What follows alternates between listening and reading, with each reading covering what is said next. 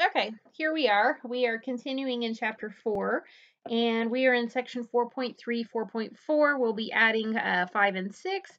So we are going to be looking at indeterminate systems uh, with forces, indeterminate with temperature only, and then indeterminate with both combined. Um, so let's get started. The assembly consists of two red brass copper rods, A, B, and C, D, a stainless steel, blah, blah, blah. Determine the average normal stress. Well, what is normal stress? Normal stress is the internal force divided by cross-sectional area. Well, if I want to get these internal forces, okay, I'm going to have to find the reaction because I know if I can find this reaction at F, if I cut it, I draw my free body diagram, you know, I can sum forces, find that internal force so that I can determine then that internal stress. Perfect. Okay, so as I'm looking at this, I'm going to notice it's indeterminate. Um, because we have just forces in the x direction, I'm going to have forces here at A and C, and I'm going to have a force at, um, at F. And I don't know that they're equal. You can't just divide things up and, and call it, cut it in half and call it a day.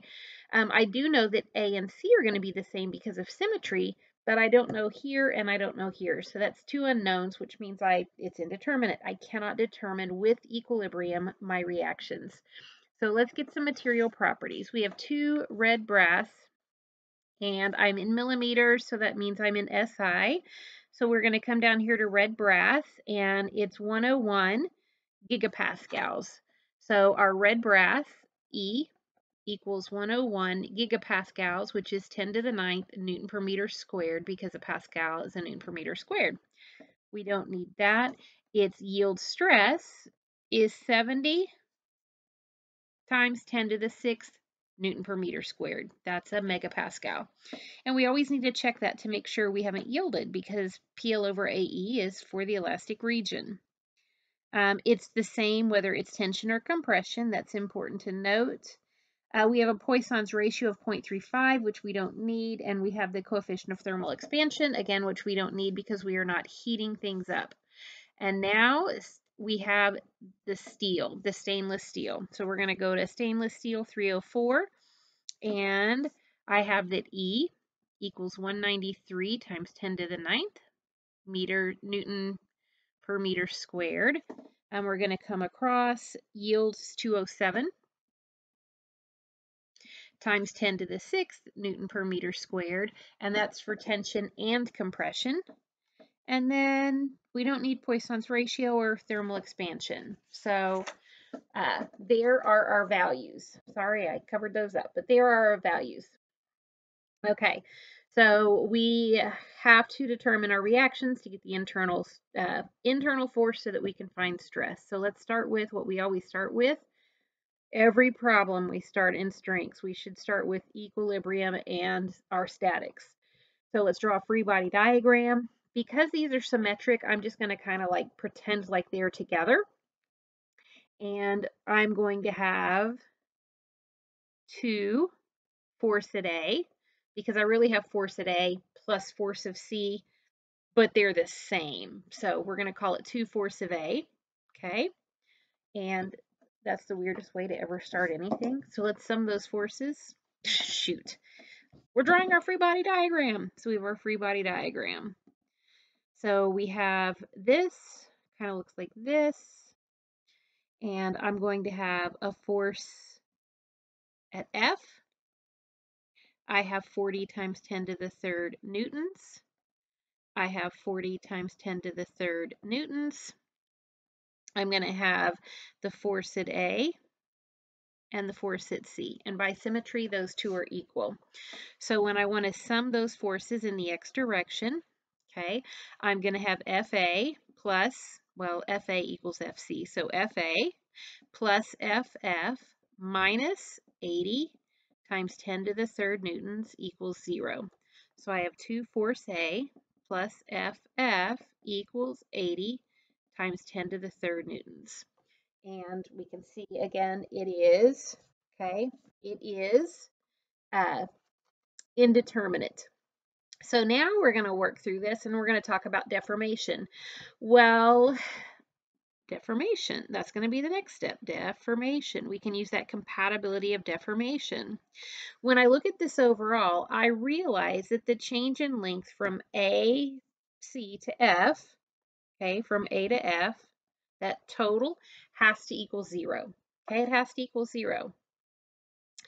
But when I look inside, I know then that whatever I have that is from delta AB, okay, plus whatever I have from delta EF, it has to be zero.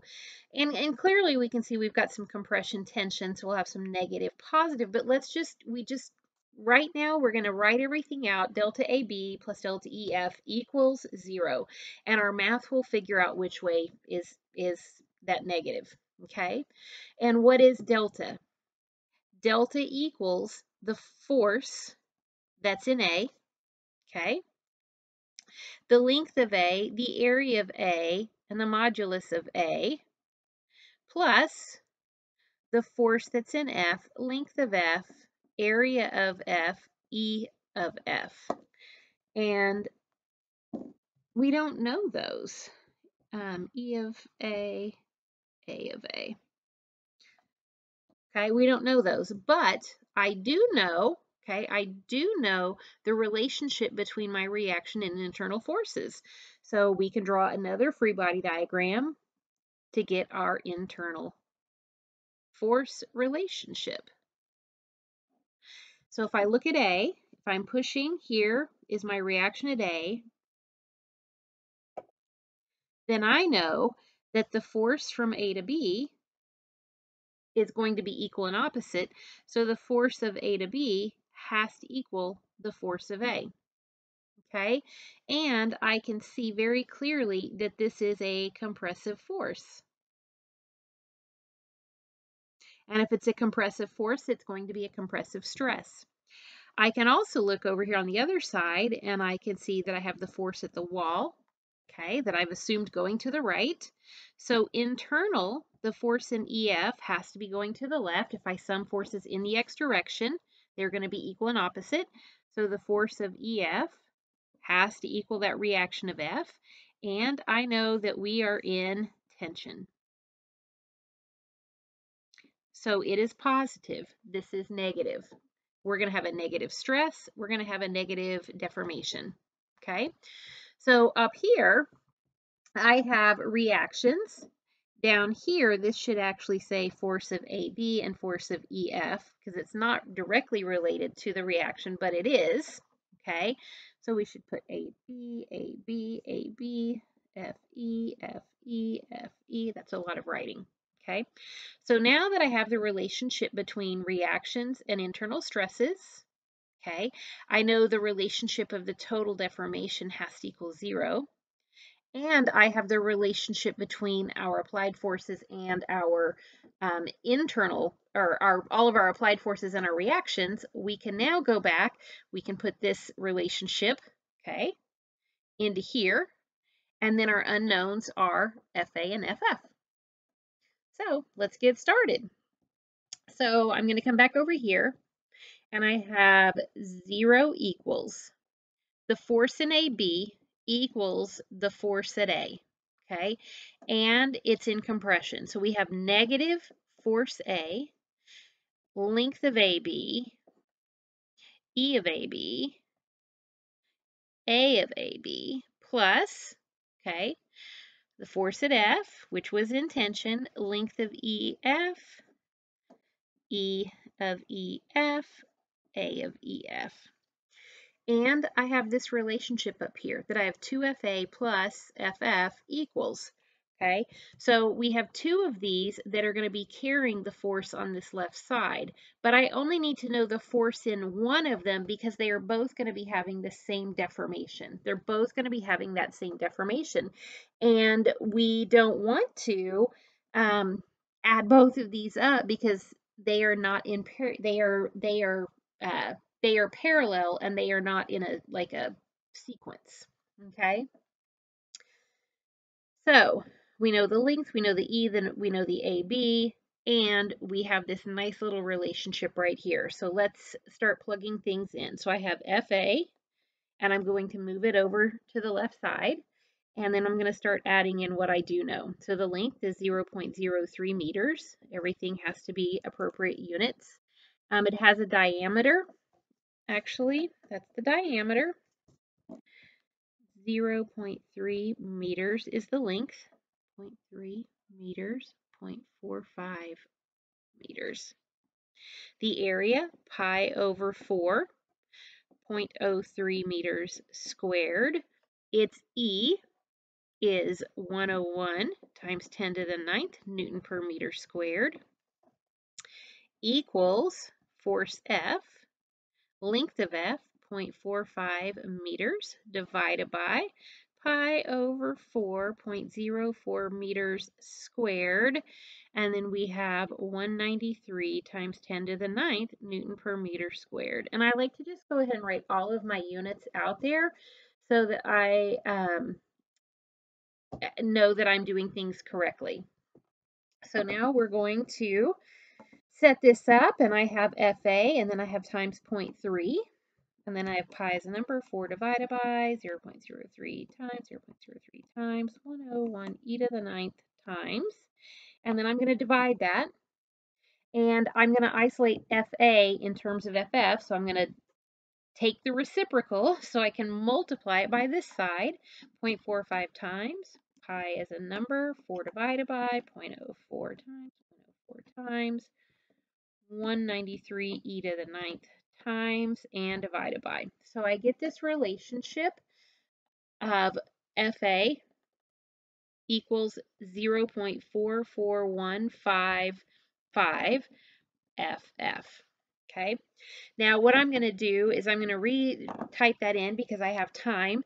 And normally it would be easier to get rid of some of these things that are in common on both sides. So let's try it that way where we've simplified. So I have 0.3 0.03 divided by 0.03 divided by 101 divided by, take the reciprocal, move it over, 0.45 times 0.04 divided by 0.04 divided by 193 divided by, and we get the same value. So this is equation 2. This is equation 1. Now I'm going to plug equation 2 into equation 1. So I have 2 times FA plus FF equals 80 times 10 to the third newtons. 2 times 0.44155 FF times, or plus, sorry about that, plus FF equals 80 times 10 to the third newtons. Okay, we've got 2 times plus 1, okay, and I need to isolate, I need to uh, isolate that, so I'm going to I'm going to take the reciprocal, and I'm going to multiply by 80 times 10 to the third, and I get that FF equals, let's look at that, 42,000 483 newtons, okay, which is 42.48 kilonewtons.